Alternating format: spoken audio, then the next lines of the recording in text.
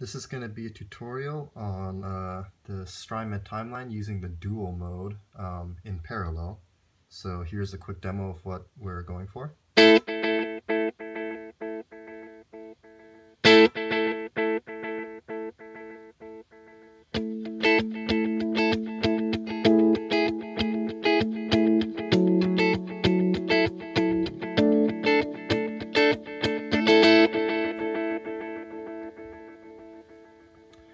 So there seems to be a lot of confusion on how this mode works in the timeline using a go to configuration using the parallel mode in stereo. So basically in stereo mode um, it gives you individual left and right outputs and those are different tempos based on two parameters. So I'm going to show you the settings I'm using and then go over how it works.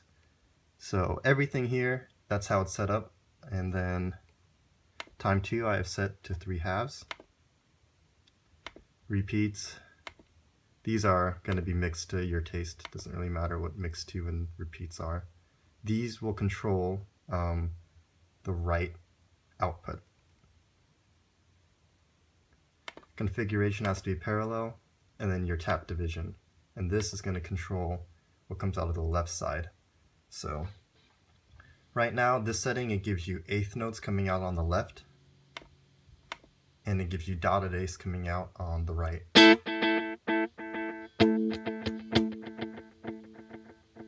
So now, there's this really simple formula, and it lets everything be really simple. So I think of this beats in terms of taps. And so whatever you tap your tempo in on the timeline or whatever the BPM set to, I have one of those equal to a beat. So in parallel mode, you have left and right, and they're going to come out different tempos. Your left tempo is going to come out whatever your tap division set to. Your right is going to come out whatever your time 2 ratio is set to multiplied by the tap division. So here's just a chart on, you know, basically a quarter note is one beat, 16th note is a quarter beat. Dotted eighth note is three quarters of a beat, and an eighth note is half a beat.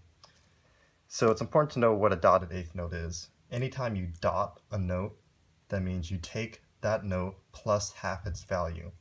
So a dotted eighth note is an eighth note, half a beat, plus half of that beat, so a quarter. One half plus a quarter is three fourths. You can also think of this in terms of musical notes and their values, quarter note, 16th note, but I like this way because the fractions are easier to work with.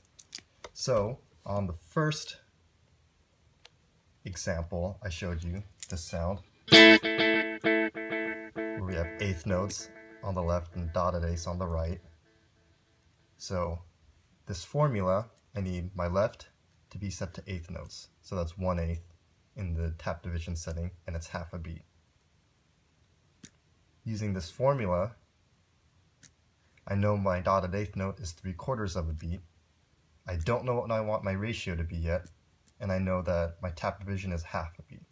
So if I have this equation, I solve for time 2, I get that the ratio is 3 halves, and that's exactly what I just showed you guys. Now, if you want to switch it around and have the dotted eighth note come out of the left and the right be eighth notes, same thing. Tap division, it's called dotted in the timeline, and that's 3 quarters of a beat you have this equation again.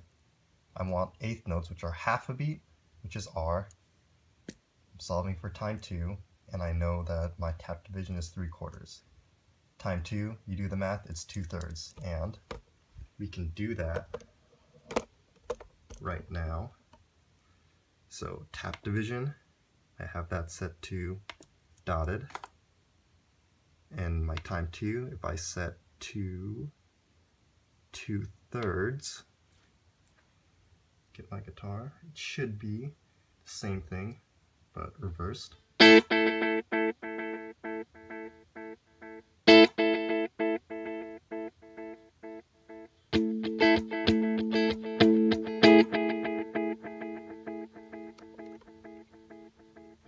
And then here's another example where if you wanted quarter notes coming out of your left and dotted at least coming out of your right.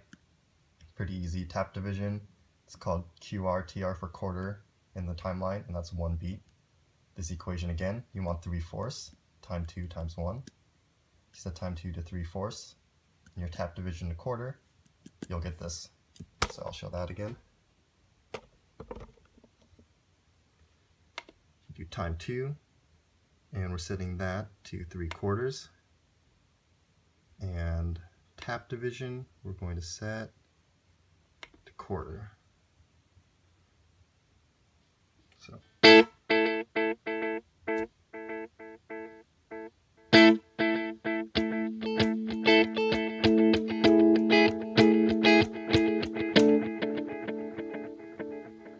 So, and then the original setting I have, which I like using a lot, is this. And the cool thing about this, and this is something that a lot of people misunderstand, is they set it so it sounds like a dotted eighth, but then it's not in sync with the tap tempo. Here, it's actually set to what is blinking here. So if I change my tempo to something, whatever the song's BPM is, if you set it to that,